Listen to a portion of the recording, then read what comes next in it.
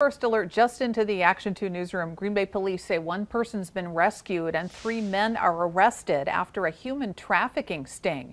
It happened December 7th. Police would only say the person they rescued was female. They didn't give her age. They didn't say anything about where it happened or who the men are. They were arrested on suspicion of soliciting prostitution. The Wisconsin Division of Criminal Investigation and a nonprofit called Awaken Wisconsin helped with the investigation.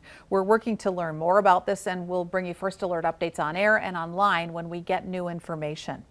A first